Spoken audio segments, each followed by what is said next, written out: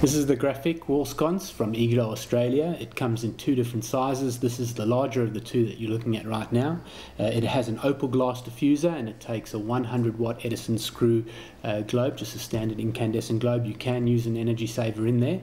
Um, this light fitting is covered by Eglo's two year guarantee uh, and we think it's a pretty good fitting.